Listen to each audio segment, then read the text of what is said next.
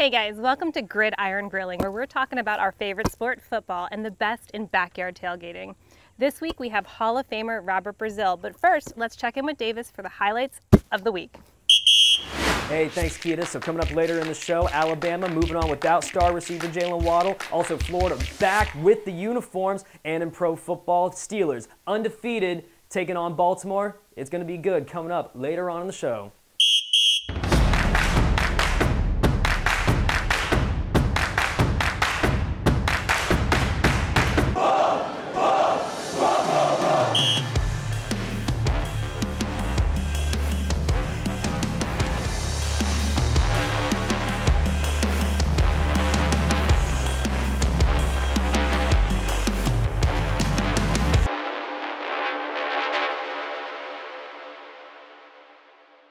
Guys, I'm so excited to check in with Dr. Doom and what Tina has on the grill. But first, we're gonna start with a bourbon sidecar because every good tailgate needs a cocktail. Today we're gonna make a really simple bourbon sidecar. What I love about this is we're gonna smoke Jack Daniel's chips and infuse it into the glass so that that grilled and smoked flavor goes through and through. All you need to do for this is actually put some wood chips on a clean and safe surface and light them on fire, but just a little bit. You're just going for a little bit of smoke here. And you want to use a damp glass. The liquid in the glass actually helps the smoke stay in it. Put the glass right over the wood chips once they're smoking and let that fill up with smoke. That's gonna make a nice subtle smoky flavor that stays in but doesn't overwhelm. That's what I love about it. And everybody loves this trick. They think it's the fanciest cocktail you've ever tried. Once it fills with smoke, let it out. Put some ice right in that glass again. Then, this is one of those simple cocktails that doesn't require many steps. A little bit of bourbon, a little bit of orange liqueur, a little bit of lemon juice, and a splash of simple syrup. Mix that all up and garnish if you want to. And you've got classic bourbon sidecar ready for a tailgate. All right, let's check in with Tina and see what we've got going on. Oh, I'm so hungry. Oh, the drink looks so good. Exactly. Good morning. All right, Tina. Is that with me? Of course it is, Thank you. dear. It's a tailgate. What do we have going on these grills today? I heard we're making cowboy Wellington bites. I'll give you a quick look. All ready? Oh my gosh, so what's inside of that? Filet mignon. Filet mignon for a half- tailgating party. Yeah, exactly. And it's going to have a, a sour cream mixture of horseradish sauce, sour cream, and uh, Worcestershire. You know Worcestershire sauce. Yes, you know, that's Worcestershire it. sauce. We can't say That's that. easy in the for you to say. Yeah, we can't say this. And I'm fixing to actually put some smoking chips here, and these are the Jack Daniel's chips in here to finish the flavor Just to on finish these. that flavor off on That's that right. Oh, that'll be locked But I'm gonna have a sip first. I don't blame you. All right. Awesome. We've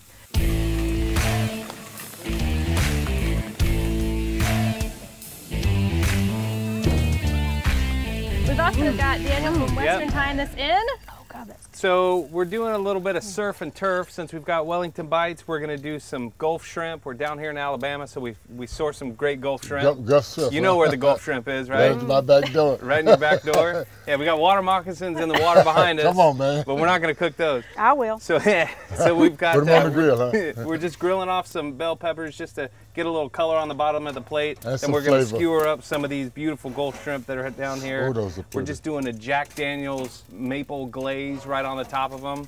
They're gonna taste great. They're gonna go great with these bites. Woo. So You gotta everybody be gets 21 to eat those, right? That's right. I'm not going to know where to start. I might eat 21 of them.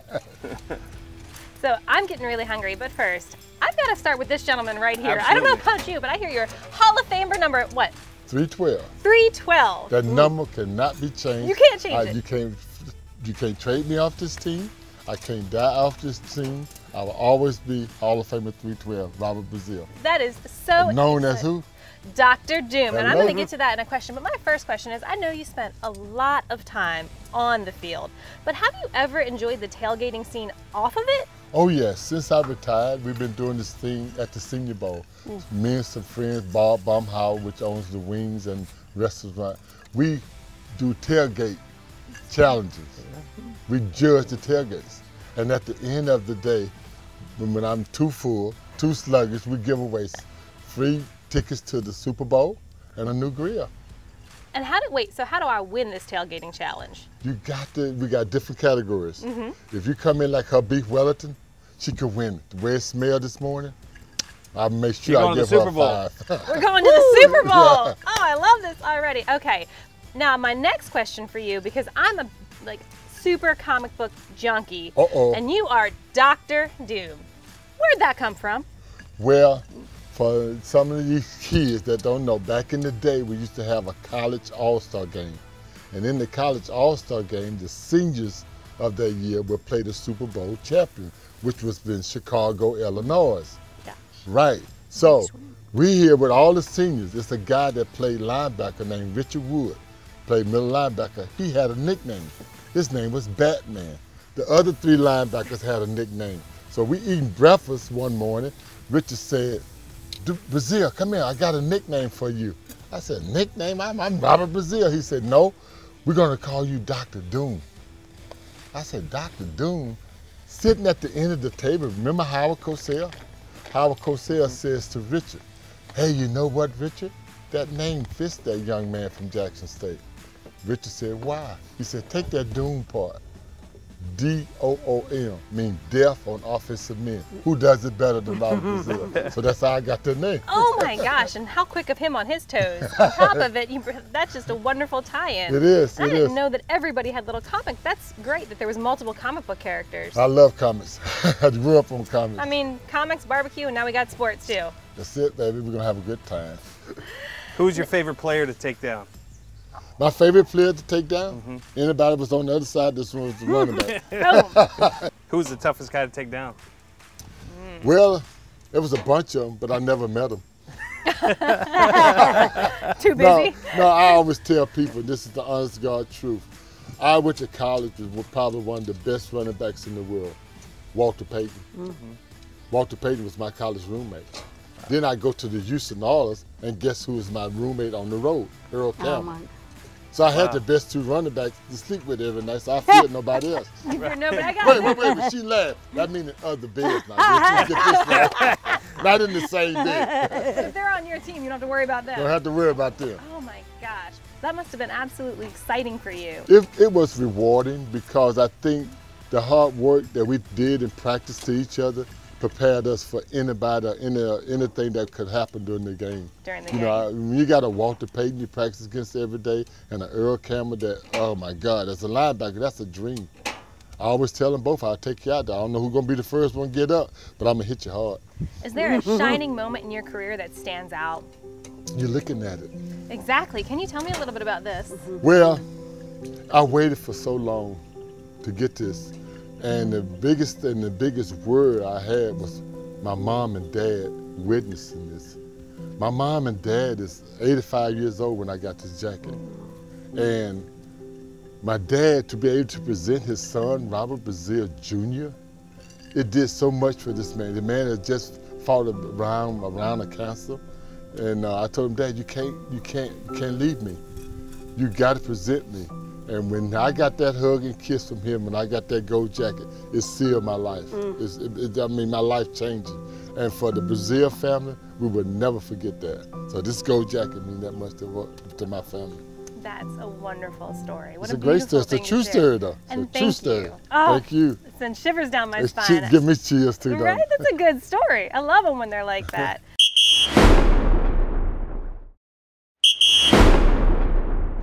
All right, let's check in with our pitmaster Tina and see what's going on over here. Well, I've got my uh, whiskey barrel chips here smoking. Oh, thank you. Of course. And we got our mini Wellingtons in there, and I'm gonna finish it with a little smoke from those whiskey uh, barrel chips. Give it about two minutes, and we're gonna be eating. So, what are our tips here in making these perfect, and why are they such a good tailgating food? Well, they're one bite for you, one bite. Half a bu- bite. two, bi- yeah, okay, and two bites for us. That's like a but the main for you. thing is you want to maintain your grill temperature right at 350. And I'm using a pizza stone, but you could use a griddle. And the key is really, really good beef. And puff pastry is easy to get. I don't make that homemade. That's So, you can buy store bought puff pastry. You can just, and you, you thaw that out ahead of time. Mm-hmm. And then you put your, and we're using Hassel cattle beef today, the Yes. filet mignon, and we're putting that in your Tyson it up. How big Yeah. is it? Like about an inch? About an inch, little inch square, and then I toss it in some either beef or mushroom base Mm-hmm. that you can get at any grocery store. Put it in the middle, fold it up, brush it with olive oil, stick it on. That's it. And about at 350, about 15 minutes. About 15 minutes. Mm-hmm. Oh, that is the best beef Wellington I've ever heard of. Easy. All right, so You take a look at it. We can want. peek. Yeah. You know, you're never supposed to. We're just getting a little smoke on it right now. You can see from the chips. Like that. And then I've got a sauce that's really good. It's a horseradish, sour cream, and Worcestershire sauce. Worcestershire. Yeah, that's it. It's only because I lived in New England for a while. Yeah, Worcestershire. We can't say it in the South. we just eat it. It's the same sauce. It's just that, the del- just that delicious sauce you Yeah, can put on same every. sauce, different wording. That's, yeah. All right, let's check in with Daniel over here. Let's tell us what we have going on with these shrimp. Well, we've got a little Gulf shrimp. We've been hitting it with the Jack Daniels maple glaze. That's just bringing the flavor all the way through. We're hitting our bell peppers. We're gonna cut these down, julienne these a little bit, and use that as the base. So these are just getting a little bit of flavor. It's gonna look great on the plate. Want to make sure they stay nice and moist. Did we have to prep these at all, or did we just put them right on the skewer? Right on the skewer. Wow, this is about the easiest A little bit of olive oil, a little bit of salt and pepper, and then all your flavors in here. I've got a little seasonings, a little Jack Daniels seasoning, a little bit of Jack Daniels, a little bit of maple. And that's it. Maple syrup. Oh man, this is about the easiest surf and turf we Yeah. could possibly get. Yeah. How many more minutes do we have on these? A few more minutes, they'll be about ready when those Wellingtons are done. And what's a tip here when you're grilling shrimp on a skewer? Because you've got these guys back and forth, which I actually kind of like that. It's like yeah, more back and for forth. Yeah, a little bit more bang for your buck. I think they look a little bit better on the skewer. Nice and Soak your skewers a little bit if you're using wood so they don't burn. Um, and just keep your eye on them because they'll cook I have fast. Gulf shrimp from Mobile. Abs- mm. There ain't nothing like Gotta a get the best shrimp. Gulf shrimp. That's right. You gotta get you gotta get shrimp that are good size. Good size. You don't want the little bitty. No. You gotta get something. You gotta take a bite. You know. I mean, this is two bites for me, one bite for you. No, These are little running backs, right? running backs. These are little scat backs. Yeah, exactly. So by putting them that way too, they don't spin around. Exactly. Yeah, Yeah, it kind of locks idea, them. It kind of Locks locks them them on the skewer. So they'll be ready in a few minutes. Little tips. Yep. I want a whole skewer.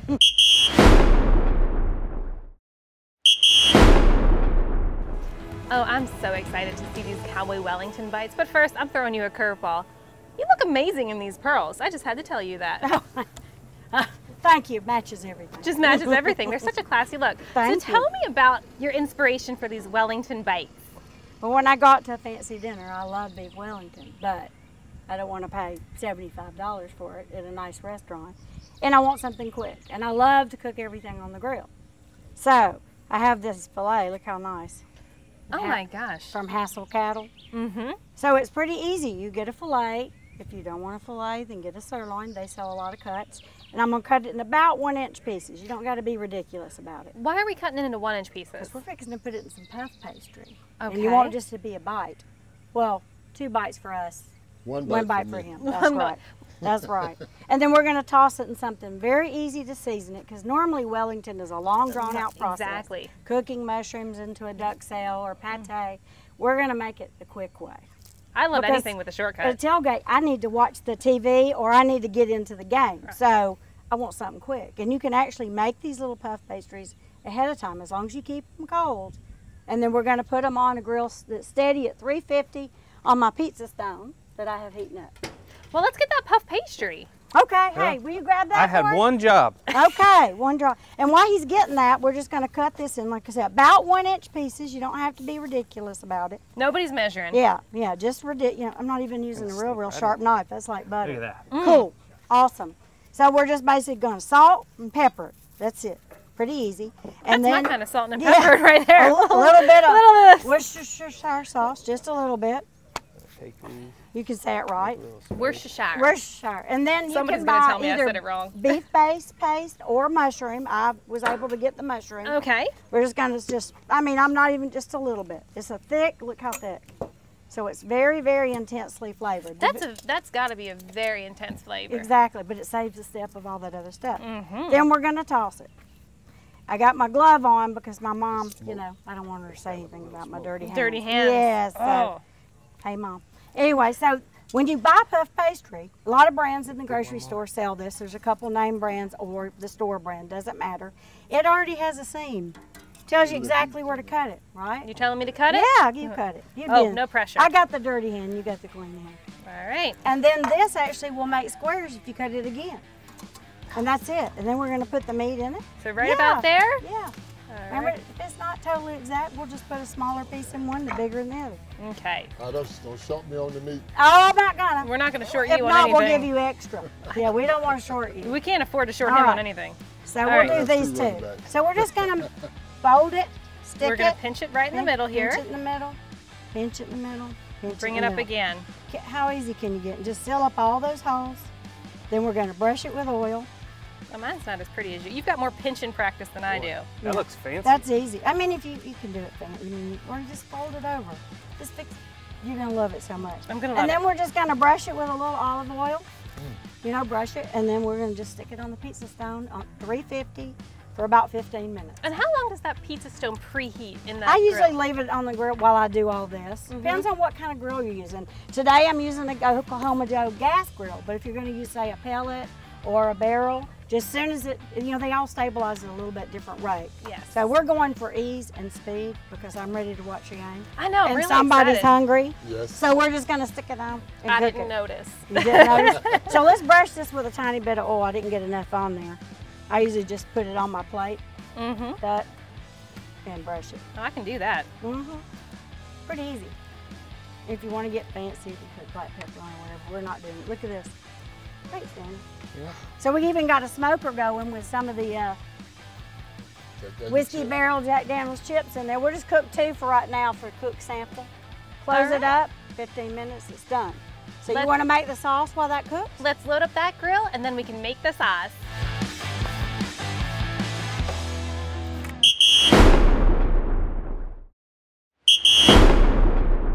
Have a special guest, gonna Robert, gonna jump in here. Mr. Brazile, Dr. Doom himself is gonna make this sauce for us. Tina, can you tell us how it's made? And I'm going to coach you. I'm very Oh, coachable. okay. First of all, can I take my rings off? We'll You sit think you're over going to here. get dirty? Okay. Right. Yeah, Let's we, sit with this. yes, my mom would love that. She don't like dirty hands. I'll hold them back here for this if you need me to. Exactly. So this is so simple. See this little amount here? You're just Mhm. gonna put some sour cream in it. Sour cream. About half of it. You just squeeze it in there. See? Yeah, yeah. That's enough? Oh no, put some more. We got a lot of bites we're gonna eat. Okay, easy. And I get the squeezable because it's easy. Yes. Then, Worcestershire. We just gonna say Yeah, sauce. just yeah, just put a dash. You know, like A dash is like. a couple Oop, dashes. A dash. There you go. Perfect. See, you're a natural. Then this is horseradish. That's the key. Now this, how spicy you like it? Like Dr. Doom hot. Okay, then you put is put about a spoonful of that, and then you're just gonna stir it. Yeah, that's good. Watch You, me, mom. just Watch stir me. it up now. Watch me work. Yeah, look at you. Watch me work. Yeah. Don't that mm-hmm. look good? And that's isn't that easy? Now, if you wanted extra spicy, you could put like sriracha sauce or something in there, Tabasco. But we're How gonna. You we're want gonna. put? Well, I didn't bring it. I'm sorry. Maybe I need to run to the store. Okay. No, we'll be fine. So it's ready for our uh, cowboy bites, right? Our grilled cowboy Wellington bites With doom sauce. Yeah. with Doom. Doom Yes. spicy Let's do that. Let's sauce. change the name to Doom's. no, keep it your way. Because it's got. It's, I got got all the enough- copyrights to my name. Oh, okay. it's got enough uh, horseradish in it to be a doom sauce. That's good. So we're ready. As soon as they come off the grill, it's ready for dipping. Let's try it. This sauce is going to be great with our little grilled Wellington bites because the beef is smooth and has that mushroom flavor that's got that horseradish bite. Because a lot of people eat a horseradish sauce I with a can- steak, right? Okay. Yes. And then it's creamy to go with the puff pastry. So it's like the perfect compliment. You don't want any ketchup on I can't wait No. to try it. All right, I'm gonna check the grill and hopefully they'll be ready. And then we're gonna dip them in the sauce. Let's see. You'll probably eat this whole bowl yourself. I hope not. Oh my gosh, those look so good. I know I'm Lunch hungry. time. How's this ramp going? They're going Lunch good. They're time. not as good as those though. Oh, I'm sure they are. Oh, I can hear your stomach growling. Lunch Oh, time. maybe that was mine. It's lunch time somewhere in America. He comes with a jingle. I like it. Oh. Tina, these look beautiful. That was mine. That one's yours, Okay. yes. Oh, you get, we get to Okay, pick. Wait. Mm-hmm. At my house, you have to pick or you won't get You're one. getting. Yeah. Put your name on it. Yeah. We'll put a few out here to get started. Mm, mm, mm. I am so excited to try these, Tina. But first, let's check in with Davis for this week's highlights. Well, Alabama back at it again after rolling over Tennessee last week, but it did come out at a cost as they did lose Jaylen Waddle last week, star receiver and returner, but I think they'll be okay tonight against Mississippi State. In the meantime, Florida, they're back after missing two weeks with positive COVID test, taking on Missouri and looking cool in those 60s throwback jerseys. Also, Marshall looking to go undefeated the rest of the year. It would make sense considering the only team they have left that's actually worth anything is 2 and 2. Looking at you, Charlotte. Also, Battle of the Tigers, LSU against Auburn, an awesome game last year. Going to be a fun game this week. Also, Ohio State, Penn State, Big Ten matchup. Justin Fields playing, Heisman favorite. Also, Penn State needs a big rebound after getting upset last week against Indiana. But now let's go on over to the pros, where the Buccaneers going into the bye week with Tom Brady, 42 years old. That's not going to stop him from scoring four touchdowns. He'll kick back in Tampa in his lounge chair while his replacement Cam Newton in New England He's looking like he's in the hot seat as they're taking on Buffalo, hoping to get things right again. Also, Pittsburgh Steelers, the only undefeated team left in the nation. They're going up against Baltimore at Baltimore. It's going to be a great Sunday. In the meantime, I will see you guys next week. Hey, uh, surf's ready. Oh, Surf, good. surf. Oh, surf on. and turf. I'm gonna hold that. It's a little bit hot, so I'm gonna set Be it careful. down. Be careful. And I'm gonna put careful. this down right here. So you You got all those over it? beautiful shrimp, and then we just reduce this sauce down. So we're just gonna drizzle that all over the top. And Daniel, what was in this sauce? So Yeah. this sauce is Jack Daniels, a little bit of maple syrup, a little bit of Tina's special spice. Oh, you you used that. I did. That's why you stole it off my. table. I did. I'm gonna steal it and bring it home. I'm gonna use that on my wings. Wait, let me. Uh do oh. this. It's good. Right? That's Oh not bad. my That's not bad. So we're What's ready to dig kick? in. It does have a little bit of a kick. Well, better. We've Surf got, and turf. we got Yeah. Dr. Doom sauce over here too, so we're ready to turn it up. We are ready. At my table, we say good food, good meat. Let's eat. Amen. Absolutely. Are we allowed to eat? Yeah, let's go. am. Let's Let's, dig in. let's do this. All right. Mm. My God. That's good. That sauce got a kick. hmm You know what's funny? Mhm. My husband eats this part. Really? I swear. You're not supposed to eat that part. Man, I don't know. It must be Yankee. Mm. I don't know. it's a Yankee thing. Yeah. So you just got to keep drizzling that the Mm-hmm. whole time, and that that drizzle helps that smoke stick to good. the man. It's I real bet good. shrimp a little bit. The peppers on The the, peppers bottom. down on the bottom with all that sauce. It's good stuff. Oh my goodness. I'm gonna steal Alright. one of these now too.